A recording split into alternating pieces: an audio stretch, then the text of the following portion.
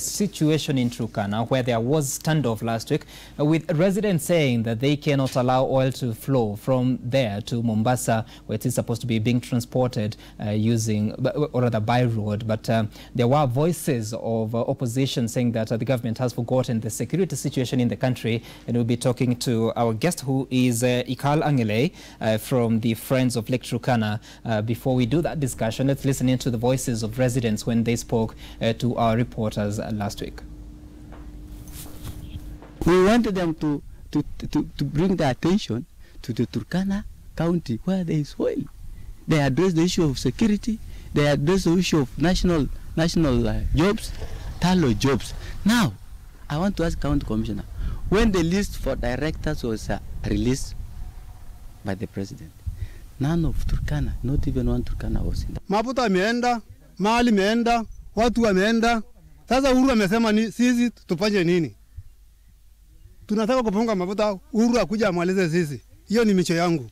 ile maneno a percent 5% natakana angie kwa ATM yetu, kila mtu apate kwa ATM akule kama lopetuni eh, kila mwezi apate, kwa sababu hii mafuta ni yetu.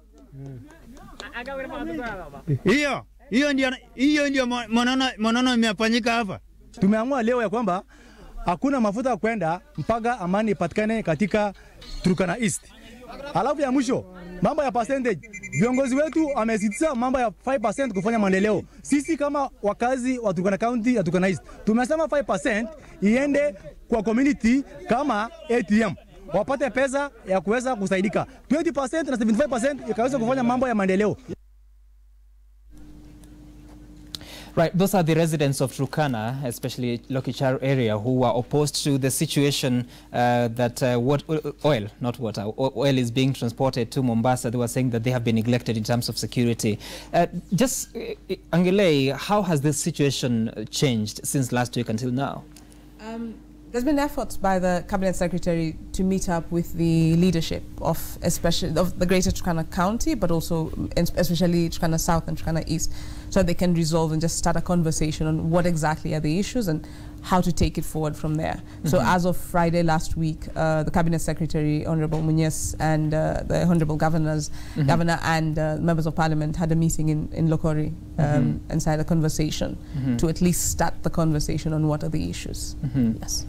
But, but, listening to them, they are saying that it's a myriad of issues. Yes. There is security. Yes. There's this question of they do not understand how this revenue is being shared. Yes. There's actually an interesting uh, upson from one of the residents who was saying uh, that if 75% is remaining with the national government, yes. 20% with the county, yes. then this 5% that is coming to the community should mm -hmm. actually go straight to the pockets of residents. Yes. Uh, how difficult has it been to get information to the residents and the community in as far as this oil production is concerned? I think one of the biggest problems is that the issue of access to information mm -hmm. um, as a country. So the information comes out in piecemeals. And so the focus has been on the revenues. But then there's myriad of issues, as you said. The entrance of Tullow into the area. In many of the local communities, especially the harders, are saying, you come in and you tell me you're going to be here. I don't know for how long. So when I'm letting you in, mm -hmm. it's like a tenant. If I give you a lease, mm -hmm. I know you're here for a duration of time. So I think the, the fact that information has not been given in full mm -hmm. to communities so that they can analyze it, internalize it, but make consent from an informed perspective is where the problem comes in. When it comes to this 5%, it really is something that as a country and as a county, we have to have deeper conversations about. Yes, perhaps how communities get the money needs to be discussed in policy, but there's a cost that communities are incurring now, right now. Mm -hmm. They're losing land. And Sure. it's huge chunks of land. These are herders. They move from place to place in search of water and pasture. And while somebody might think this is idle land, it is not idle land. So telling them that 5% is going to go only for development is not taking into account the costs that people who have lost land, um, uh, mobility, have lost uh, access to pasture and water are actually uh, suffering from. So I think that that has been sort of jumped into the into like discussions of five percent, but then not even mentioning that five percent is not a, a, a situation of now. It's going to come in the next five, six, seven years. So what happens between now when transportation begins? And, and, and, and that time when we start to, when Tullow uh, takes its gets its its uh, money, and then now the shares with, with the government. Talking about land, who owns this land in terms of uh, who's the registered owner? Are there title deeds for the residents, or is it just public land? To, land in Turkana is community land, but because we are a com- commun- community who have territorial areas, so there's territories where communities traditionally used to graze. Um, so there's various rights. So there's the territorial rights. So if a particular territory is um, taken up by a community, and then others come have other access rights, so grazing rights. So communities who come in and can graze during certain times. So they're communal lands that are owned and and and uh, accessed. Um, um, and have controlled are controlled by certain territories, and so it's not public land. It is community land, and the, the argument has been which is this community. But then we always we always inform the investors and the government that there is there's territories where people know and identify with. But according to the Community Lands Act, um, the, the, the, there is the requirement that uh, such land is being held by a county government trust. interest. Have there been conversations since that, uh, that that act was passed? Have there been conversations to really, uh, should I call it, delimitation of that land? So while the Community Land Act has passed, regulations are still pending, and, and it takes for the regulations to operationalize the Community Land Act, and that has been the argument. So there's a lot of pending pending legislation. So there's a pending legislation of the Community Land Regulations, mm-hmm. and then the pub, the Petroleum Exploration and Production Bill. So mm-hmm. all this are still pending while we are pushing for the oil to move. And while yes, it might be seen as good for the country to allow for development to happen. I think we have to think about how we're first tracking this legislation so that we're ensuring that communities' lands are secured. Mm-hmm. That the argument that which community am I compensating and the, the compensation should go to National Land Commission or not should stop because this uh, territories and its access routes that communities use and the fact that so far no conversation is being had about uh, their compensation is worrying to many communities because they're herders they're not every day available to be in barazas and in conversations that are happening because they're constantly moving for uh, you know water and pasture. so leaving them out and not really engaging them in a very clear way to ensure that their lands are secured and if somebody is cordoning off that land to use it for oil oil exploration and extraction that somebody should actually start a conversation on how this compensation is happening Yet, Angelei, we know that the leaders have spoken. They have been holding conversations with the government, even in the conversation about the bill that is yet to be passed, that is Yeah. the Petroleum uh, Exploration, Development and Production. Uh, it is yet to be passed, yes, but there have been conversations and actually concessions that uh, 75% remains with the national government, 20% goes to the county government, and 5% goes to the community, uh, the, the host community.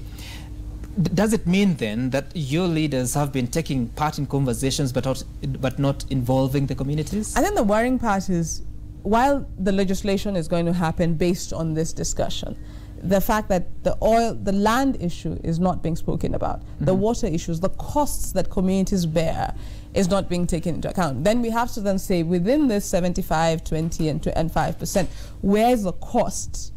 Going to come from to cater for this community. And until we then can do that, then you're living out a community and having exclu- exclusive uh, sort of development. And, and yet there's supposed to be some sort of inclusion, you know, at every level with public participation um, enshrined in our constitution. That, sh- that is very critical.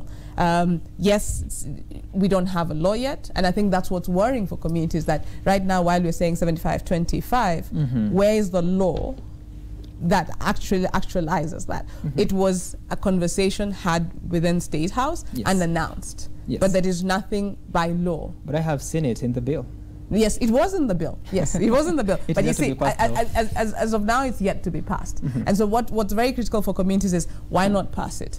But also, the other side, apart from government, there's the aspect of, of the oil company. Tullow Oil has its own policies that it should be uh, it should adhere to. So, Mm-hmm. free, prior, informed consent. Tullow um, is, is supposed to, because it's getting fi- financing from, from the IFC, from the International Financial Corporation, there are certain uh, aspects that should be catered for in terms of informing communities and, and getting them to give consent.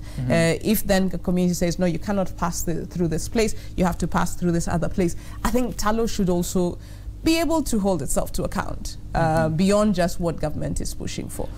Uh, Angelei, we'll return to the conversation, but first let's cross over to Turkana in Lodwar, I believe, where Emmanuel Chiboit, our reporter there, is standing by. And Emmanuel, we saw some images, that, that is last week and the past week, of people uh, barricading roads and blocking the transportation ex- and production of oil at the oil well, oil fields rather. Uh, has the situation changed? Because we understand that uh, last week there was there were conversations that uh, said that uh, there would be some sort of a ceasefire in quotes.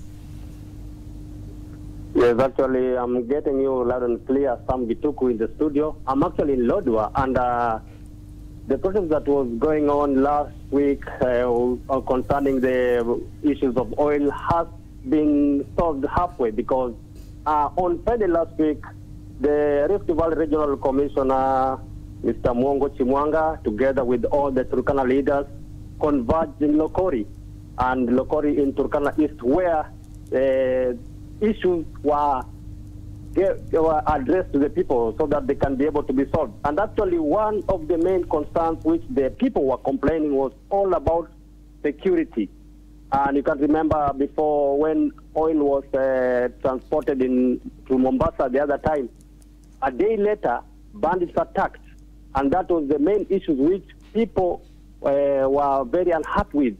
And the regional commissioner, Mr. Mwongo Chimwanga, assured residents that before anything, before oil is uh, being transported again, he's going to ensure that he's going to bring security. And as we speak now, a platoon from Nairobi has been deployed in Kapedo, whereby this was a surety from Mongo Chimwanga was the RC that he is going to solve insecurity issues, whereby now we have a platoon of uh, officers stationed in Kapedo.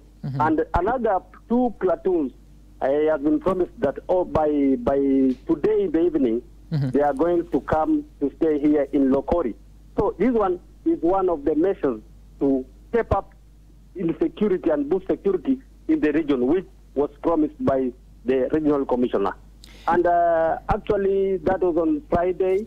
Today, there is a public participation which is going on in Turkana South, whereby leaders, uh, minister, the CS for petroleum, together with the governor, together with all the MPs, are addressing residents who blockaded oil the other time to tell us the grievances, to tell us, to tell them what uh, they have resolved as leaders, and also to uh, plead to with the, to plead with the residents to allow the oil to be transported. Actually, these are the, some of the measures that are in place, and as we see by Wednesday, the leaders accepted that if all these things are going to be to be eh, to be implemented by Wednesday, we are expecting all the five trucks to start going to Mombasa. And Emmanuel, you, you speak of uh, Wednesday as the day that you expect that uh, transportation of oil to Mombasa will resume. But when you speak to your sources at Tullow Oil, has the production resumed or are they still waiting to see? Now, actually, some there is actually no production in in Tullow. What happened? The trucks that were supposed to take the crude oil was packed with uh, with the crude oil to Mombasa. They sent to Mombasa. The same truck was blocked in Kalemorok, and that's when the protesters blocked the truck. They say they wanted jobs, they wanted tenders. So the same truck was supposed wa- was forced to go back to Loktar, some 40 kilometers away. So the same same trucks are the ones which are supposed to go back again to Mombasa. There is no any other truck or any other production that is taking place now. For now, it's only the pilot scheme, which is the early oil pilot scheme, which is the for only trucks, specified trucks to carry crude to Mombasa. There are no more production. Okay, all right. Thank you so much, Emmanuel. Do continue pursuing that story. We'll be talking to you later on. And back in studio, um, Ikal, Ikal Angelei, uh, talking about, we, see that situation that Emmanuel is talking about, the public participation sessions that are supposed to be being held, and of course, the efforts by the security agencies to see that uh, the place is secure once again. But we also know that uh, the oil will not turn commercial until about 2022 earliest. Uh, but if these disruptions continue, then it, uh, that is just being pushed over or forward. Um, so what are the expectations of the communities in as far as uh, the benefits that are concerned? Because now, in the meantime, uh, the production continues, but the commercialization begins earliest 2022. I think there are two aspects to it. So there is the local content aspect that communities, you've had uh, Emmanuel mentioning, that communities are expecting jobs and they're expecting uh, contracts. I think one, we have to manage those expectations. That mm-hmm. what sort of jobs are we looking at, and what policies do we need to put in place? In places like Uganda, they're very clear that unskilled labor has to be 100%, semi-skilled labor has to be at a certain percentage, like 70%. percent mm-hmm. But be able to say, not just 70% that is, is, is, is you know, it's just uh, standstill, 70%. Mm-hmm. But we have to be saying that if it's 70% now, it's 70%, but in the next five years, it has got to be 100%. And that way, where county government and, and Tullow Oil, but also with national government, work to be able to make sure that you're moving from a 55% to 70% to 100% uh, um, skilled labor or semi-skilled labor. I think that needs to be sorted out. Contract-wise, the same thing. What do we need to put in place as a country, as a county, as a people, to be able to move from this percentage of employment contracts and the rest to the next. But I think the other part is also with this early oil that, that's being mentioned. Uh, it's very clear that Tullow did not undertake an environmental social impact assessment before the early oil process began. And, and so right now, in last week, I think on the 3rd, they were undertaking a, a, process in Nairobi and then another one in Turkana. But you cannot come later on and undertake a consultation around environmental social impact assessments when the process has already begun. Are you certain that uh, the environmental and social impact assessment was not done? It was not done. It was. It started being done, but when questions were raised, the contractor Golder Associates was stopped. And so it is critical for us to make sure that corporate institutions working in this country undertake full assessments, social mm -hmm. and, and, and, environmental assessments before any process begins. Mm -hmm. Because we cannot allow for this and say, oh yes, we are now undertaking it now when oil has already started being moved to the other place and some of us going to the community and saying please join in and be part of this process are telling you you're telling us to be part of the process when the oil has already left. And i think that is very critical. Okay. so so holding them to account on that on that is very is, is important. And then informing communities what does early oil mean? Is it that it is we are testing the waters what does that mean? We're testing the oil that it gets there and how it moves from one place to another. But communities think that this oil is going to markets and that means when money comes, like every year, we are herders. We take our goat to market. When you come back, you come back with food or you come back with money. So when communities are seeing oil going, they're saying, what's coming back to us? And I think that expectation has to be managed by the leadership. It has to be managed by Tullow Oil, but most of all, by the national leadership. Mm -hmm. and, and having a very clear conversation. That's what we go back to in terms of transparency and accountability. As a country, unless we discuss the issues of accessing information, transparency and accountability within the extractive sector, sure. we are stuck with piecemeal information that doesn't really doesn't help in managing expectations of communities and citizens as a whole.